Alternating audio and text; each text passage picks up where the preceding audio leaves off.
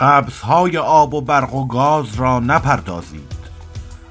دولت تصمیم دارد آب را گران کند.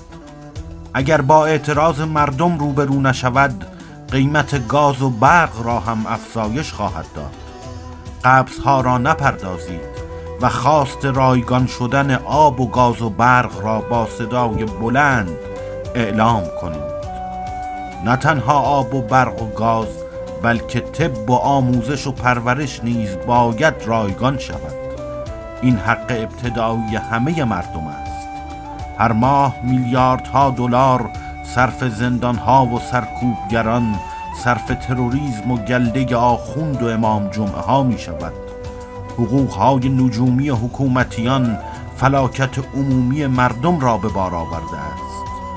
با گوشه از این پولها می توان همه این خدمات را رایگان کرد و یک بار برای همیشه به این مشکل عظیم مردم فقیر و محروم پایان داد.